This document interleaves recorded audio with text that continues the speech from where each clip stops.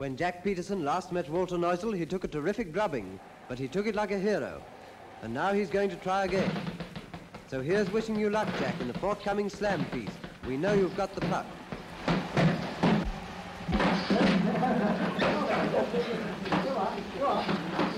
Walter Neusel is putting in some stiff training too for this fight in the Open at Wembley Stadium.